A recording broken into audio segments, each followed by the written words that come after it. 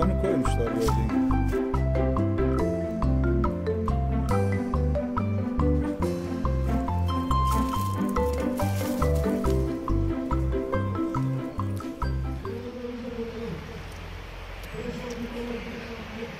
Evet 850 yıllık ağaç Süleyman Bey Mahallesi'nde cami önünde bulunuyor. Gördüğünüz gibi yukarı e, bir tane de kovan koyulmuş arıların bal üretmesi için. Biz de bugün e, Halk 54 olarak geldik. Burada bu tarihi ağaca tanıklık ettik.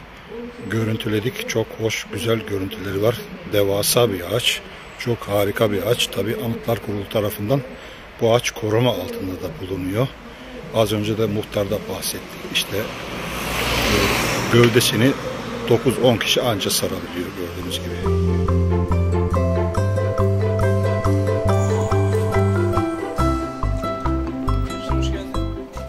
Muhtarım, ağacı anlatabilir miyiz? Kavlan ağacı. Kavlan ağacı e, bizim dedelerimizden, geçmişimizden aşağı yukarı 850 yıllık falan tahmin ediliyor. E, buna ziyarete gelenler oldu. Bursa'dan geldiler. Künyesini taktılar. Evet. Bugünden beri bakımını yapıyoruz. Caminin bahçesini Evet, caminin bahçesinde güzel bir tarihe tarihi eser diyelim. Peki üzerinde bir e, kovan var, bal üretimi yapılıyor. Bal üretimi yapıyor. Evet, o da arılarımızın gelen bir şeyi. Hoşgörüsü. Güzel bal veriyorlar mı? Evet, burada? veriyorlar. Onlar da güzel bir bal veriyorlar.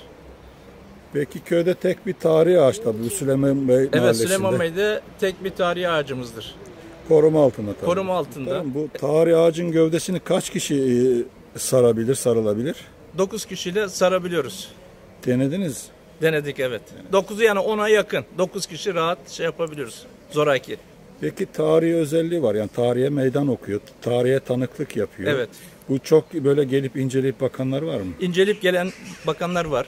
Ne yapıyorlar, ne ediyorlar? Şeyini, fotoğrafını çekiyorlar. Şeyini kucaklıyorlar. 5-10 kişi gelip sarıyorlar. Yani güzel bir tarihi bir ağaç olduğumuz için bunu zevkten sarabiliyorlar yani. Güzel de bir görüntüsü Evet, var. abi. güzel bir görüntüsüyle sarabiliyorlar yani.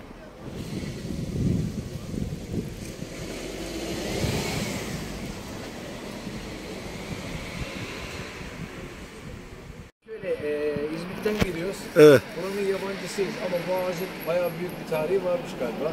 Tam olarak net bir şey bilmiyoruz işte duyduğumuz. Yani e, Görsel olarak baktığımız zaman nasıl ağaç? Vallahi ağaç çok güzel, çok harika. E, yani İnsan bakmaya doyamıyor değil mi? duramıyor hakikaten. Hele gövdeye bak bir şey kadar. Bir, bir, e, bir katlı bina kadar.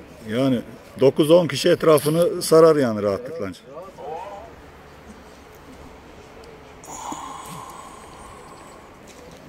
Elif'ciğim hoş geldin.